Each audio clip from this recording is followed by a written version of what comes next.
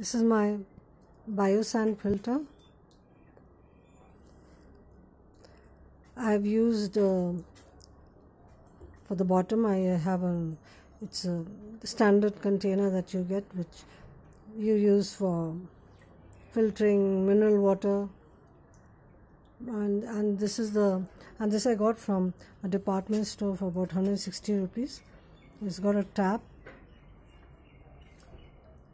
so it's pretty convenient and then here we have the uh, the water, the big bottle, uh, uh, the container,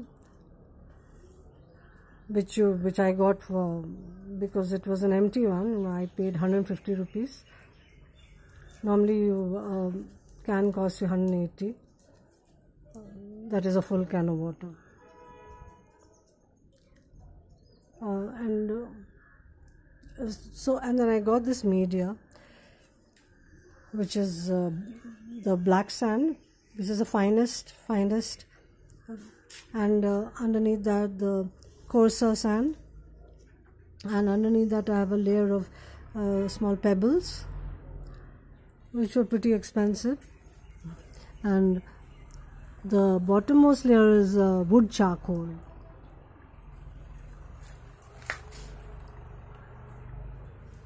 yeah.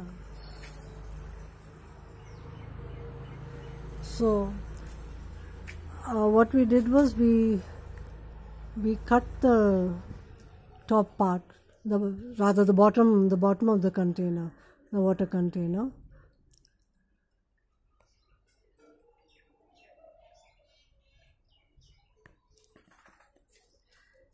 And then um, and then I also put a, a tea strainer, a plastic uh, uh, mesh tea strainer at the bottom here, where the lid lid of this canister comes. We of course we took off the lid and we cut half of that that uh, that part that plastic part which uh, protrudes out we we cut half of that so that this stays easily um, in the bottom container it won't shift it has some leverage. And um, and that mesh that mesh is required at the bottom because if you don't put that uh, mesh and it should be a plastic mesh because if anything if it's uh, um, that wire mesh you get it'll rust right? So use that. And uh, the first layer was uh, and I washed this uh, material very well. Uh, especially this, uh, the yellow sand took the longest to wash. I, that took 17, about 16, 17 washes for the water to run clear. Yeah. Um, the coal took the least amount to wash. And of course, the pebbles are new, so I just washed that a couple of times. Uh, the, the coal, uh, three, four times. No, I think about five times because the all this sooty stuff comes out. And then um, this the top layer is the finest layer the gray sand which is actually stone uh, stone dust. And that is the finest layer. And that i washed uh, 12 times. So basically you have to it has to go from finest to the most coarse.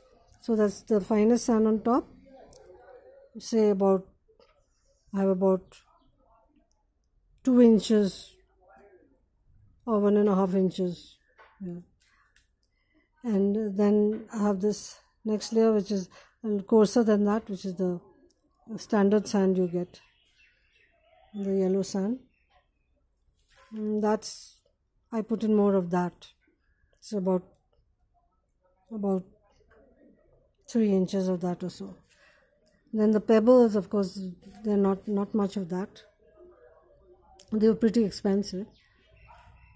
And uh, the bottom, the coal, which of course you can see it goes, it's, it's also quite a lot.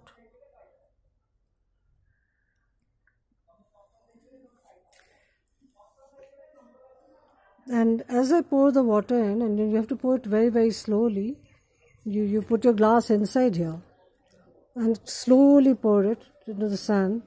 You can see it's already made some depressions in the sand, pouring water in. But you shouldn't disturb the material or the water gets turbid. So slowly, slowly put your hand into the, with a glass and pour it slowly in. Then as you're pouring it, it, it comes out. It filters out pretty fast. As you're pouring it, it filters. So it's a pretty fast process. You don't have to wait too long for this. But of course, the first, the first uh, three, four filtrations I, I would not drink because they, they were slightly turbid. So I will, the fifth, the fifth one I think I can safely drink.